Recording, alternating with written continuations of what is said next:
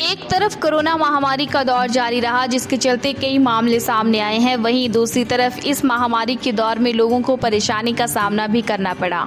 लेकिन इस महामारी में एक व्यक्ति समाज के लिए संदेश दे गया।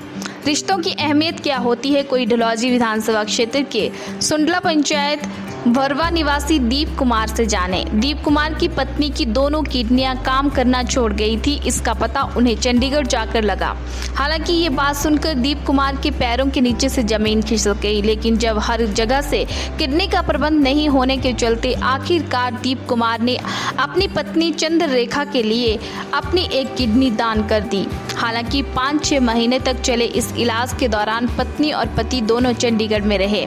ऐसे में दीप कुमार के दोनों बच्चे घर में रहे, लेकिन आखिरकार अब दोनों पति पत्नी ठीक होकर अपने बच्चों के साथ अपने घर में खुशी खुशी रह रहे हैं। दीप कुमार द्वारा उठाए गए इस कदम की हर तरफ़ सराहना हो रही है। हर कोई दीप कुमार की तारीफ़ कर रहा है। मेरा नाम दीप कुमार है। मैं सुमला पंचायत के गाँव भारवा से बिलोंग करता हूँ।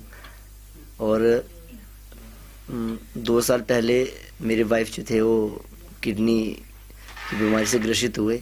जब हमें पता चला कि हम्म, आपकी मतलब आपकी वाइफ की दोनों किडनियाँ खराब जो डॉक्टर ने मुझे बताया कि आपकी दोनों मतलब दोनों किडनी जो आपकी वाइफ की खराब है। तो मैं हम्म, स्टार्टिंग चंबा से शुरू किया। शिमला गए शिमला में कुछ दिन रहे। शिमला के बाद फिर जब कुछ रिज़ल्ट नहीं अच्छे सामने आए तो मजबूर पीजीआई चंडीगढ़ हमें जाना पड़ा। और दो साल तक वहाँ तक कम से कम हमारा इलाज चला और काफ़ी मुसीबतें वहाँ पर भी देखने को पड़ी।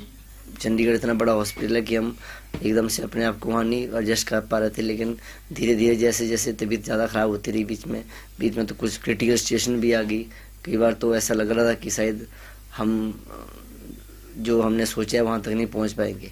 फिर दिक्कत ये थी कि डॉक्टर ने भी जवाब दे दिया था कि या तो इसका एक ही इलाज है, या तो ट्रांसप्लांट करे या तो डायलिसिस करें। ये दोनों ही हैं जो, और डायलिसिस पे भी इतना लंबा सफ़र हम नहीं कर पा रहे थे।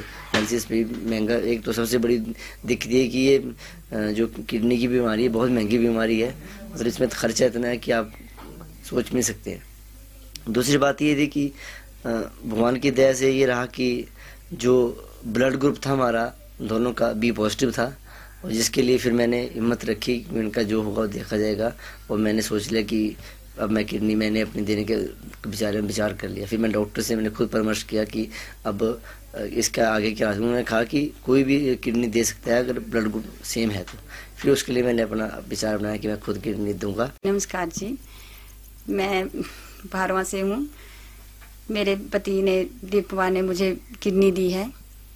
जो मैं आज इनकी वजह से इनके मैं अपने बच्चों को देख रही हूँ, अपने परिवार के साथ में हूँ। तो ये है कि हमने तो बहुत ज़्यादा बहुत ज़्यादा उसमें हम गए थे इनके हम बता नहीं सकते। जब हम पहले हॉस्पिटल में गए तो हम पहले शिमला में गए। उसके बाद हमें शिमला में भी कोई नहीं के वो नहीं मिला। फिर जाके हम चंडीगढ़ में गए। चंडीगढ़ में जाके हमें ऐसा पता लगा कि हम मेरी दोनों किडनियाँ खराब हो गई हैं। तो डॉक्टर ने जो ऐसा बोला तो हमें ऐसा था कि अब पता नहीं भगवान क्या करेंगे पहली बार सुना था। हमने किडनी का तो नाम ही नहीं सुना, इस बीमारी का कभी नाम ही नहीं सुना था। जब हमें पता चला तो हम यानी कि बहुत ज़्यादा हो गए थे, प्रेशर में आ गए थे कि अब हम क्या करें। फिर क्या करें, सभी लोगों ने हमारे साथ बहुत ज़्यादा साथ दिया। तो हमने सोचा कि अब क्या करें, अब बड़ा मुश्किल पड़ गया है, हम कुछ नहीं कर सकते। लेकिन फिर भी मेरे पति ने हिम्मत नहीं हारी। उन्होंने मुझे बड़ा हौसला दिया कि नहीं, मैं हूँ, तेरे साथ में हूँ। तू बस खुद अपना हौसला रखेगी तो मैं तेरे साथ हूँ बिल्कुल। तो इन्होंने मेरे को दी किडनी दी। आज मैं इनकी वजह से ठीक हूँ, अपने बच्चों को संभाल रही हूँ आके, अपने परिवार को देख रही हूँ। उज्जवल हिमाचल के लिए ढलौजी से मंजूर पठान की रिपोर्ट।